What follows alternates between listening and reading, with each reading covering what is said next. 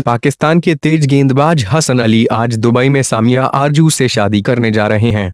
सामिया मूल रूप से भारत के हरियाणा की रहने वाली हैं, लेकिन फ़िलहाल वो पेरेंट्स के साथ दुबई में रहती हैं। उनके कुछ परिजन दिल्ली में भी रहते हैं। सामिया और हसन ने शादी के पहले प्री वेडिंग फोटोशूट कराया। इसकी तस्वीरें सोशल मीडिया पर वायरल हो रही हैं। सामिया एक एयरलाइन कंपनी में इंजीनियर हैं। पाकिस्तान क्रिकेट टीम इस वक्त ट्रेनिंग कैंप में व्यस्त है। सिर्फ़ लेग स्पिनर शदाब खान इस निकाह में शामिल होंगे। हसन अली संभवत, अगले महीने पाकिस्तान में शादी की दावत देंगे। इस बार तस्वीर सच्ची हसन अली और सामिया की शादी की खबरें पहली बार पिछले महीने सामने आई थीं।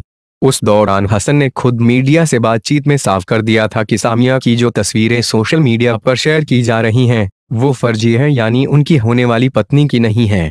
अब प्री वेडिंग के कुछ फोटोग्राफ सामने आए हैं। इनमें हसन और सामिया नज़र आ रहे हैं।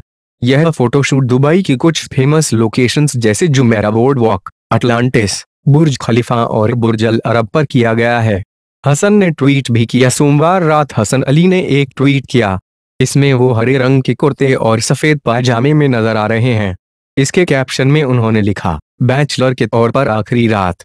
सामिया के बारे में ज़्यादा जानकारी तो सामने नहीं आई है, लेकिन खुद हसन ने एक इंटरव्यू में कहा था कि उनकी भावी पत्नी को क्रिकेट में न तो दिलचस्पी है और न उन्हें इस खेल के बारे में कोई जानकारी है।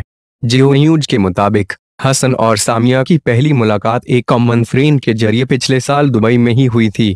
इस पाकिस्तानी तेज गेंदबाज ने अब तक नौ टेस्ट और तिरपन वन खेले हैं।